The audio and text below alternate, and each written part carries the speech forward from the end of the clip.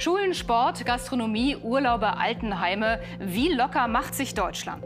Welche weiteren Öffnungsschritte wird es geben?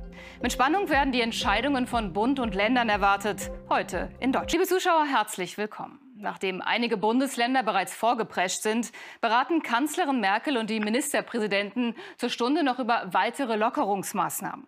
Konkret geht ja, die Erwartungen sind groß. Gleichzeitig geht es darum, das Erreichte nicht zu verspielen, das Virus unter Kontrolle zu halten. Frank Buchwald berichtet. Ja, und noch beraten also die Ministerpräsidenten und Kanzlerin Merkel. Mit Spannung werden die ersten Ergebnisse erwartet. Shakuntala Banerjee in Berlin. Viele Menschen warten auf eine Perspektive. Mit welchen Lockerungsmaßnahmen ist denn zu rechnen? Die Bundesländer schienen sich ja mit Lockerungsmaßnahmen in den vergangenen Tagen gegenseitig überbieten zu wollen, statt auf eine gemeinsame Linie vom Bund zu warten. Sorgt das in Berlin für Unmut? Ja, es gab. Pressekonferenz beginnt, sind wir natürlich live dabei und schalten direkt nach Berlin. Shakuntala Banerjee, vielen Dank erstmal.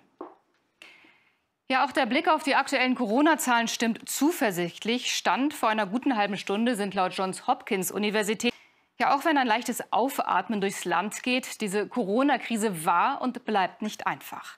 Einige trifft sie besonders hart. Und trotzdem muss abgewogen werden. Wo ist das Risiko, sich anzustecken, besonders hoch? Und welcher Schaden für die Wirtschaft und die Gesellschaft steht dem gegenüber?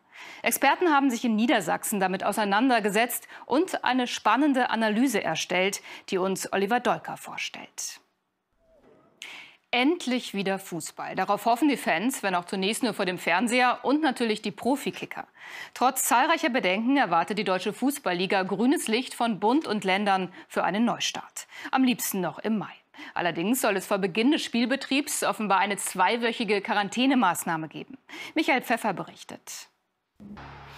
In der Corona-Krise wird gerne nach Sündenböcken gesucht. Es ist die Zeit für krude Verschwörungstheorien.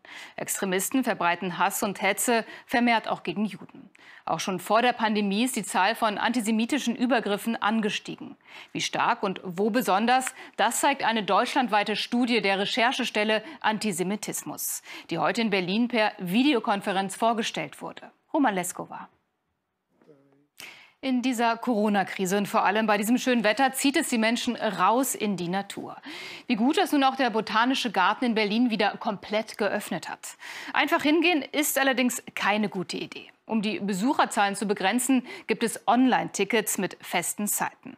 Aber es lohnt sich auf jeden Fall. Henriette de Maizière war für uns dort im Blumen- und Pflanzenparadies und hat uns einen Strauß wunderschöner Bilder mitgebracht. Also raus und den Frühling genießen. Das Wetter spielt mit. Das war's von uns. Sobald die Pressekonferenz zu den weiteren Corona-Lockerungen beginnt, sind wir live für Sie dabei. Also bleiben Sie auf jeden Fall dran. Stets auf dem Laufenden sind Sie natürlich auch auf heute.de. Am Abend senden wir zudem ein ZDF-Spezial zu den weiteren Öffnungen um 19.25 Uhr. Ihnen noch einen schönen Tag heute in Deutschland.